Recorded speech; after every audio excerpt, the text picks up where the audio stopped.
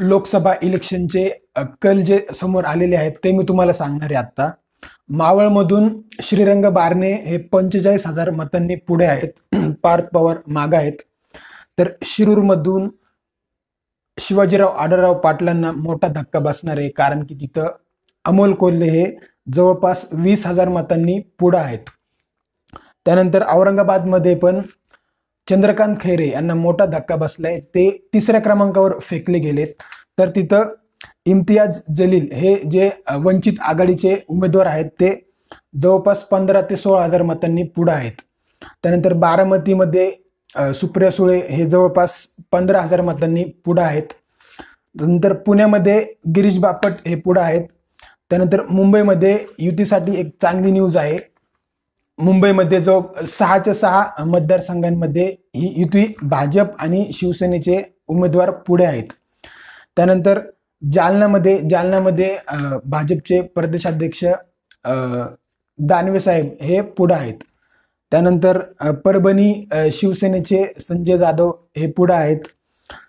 त्यानंतर उस्मानाबादमध्ये ओमराजे निंबाळकर यांनी आघाडी घेतली आहे. त्यानंतर साताऱ्यामध्ये साताऱ्यामध्ये उदयनराजे भोसले हे पुढे आहेत. त्यानंतर धुळे धुळ्यामध्ये सुभाष भांबरे हे पुढे आहेत. त्यानंतर रावेरमध्ये रक्षा खडसे हे पुढे आहेत. त्यानंतर भिवंडीमध्ये कपिल पाटील हे पण पुढे आहेत. अहमदनगरमध्ये संग्राम जगताप हे राष्ट्रवादीचे उमेदवार मागे पडलेले आहेत. तिथे सुजय विखे पाटील हे पुढे आहेत. त्यानंतर नागपूरमध्ये नागपूरमध्ये नितीन गडकरी हे पुढं गेलेले आहेत. त्यानंतर नाशिकमध्ये सुरुवातीला भुजबळ पुढे होते. पण आता त्यांना हेमंत गोडसे यांनी मागे टाकलं आहे. हेमंत गोडसे जवळपास आठ हजार मतांनी काहीतरी पुढे आहेत.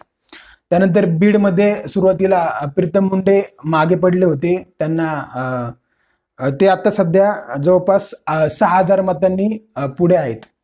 त्यानंतर सोलापूरमध्ये सुशील कुमार शिंदे यांना धक्का बसणार आहे कारण की ते खूप मागे पडलेले आहेत. कल्याणमध्ये श्रीकांत शिंदे शिंदे शिवसेनेचे उमेदवार ते पुढे गेलेले आहेत.